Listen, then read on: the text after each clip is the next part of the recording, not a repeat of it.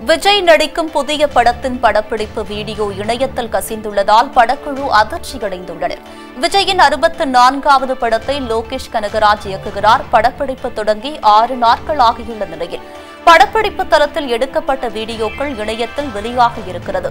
இதில் Vijay பனிகனுடன் cooling glass போட்டுக்கொண்டு மேலத்தாளத்துக்கு கும்பலுடன் நடனமாடுவது நடந்து செல்வது என இடம்பெற்றிருக்கிறது.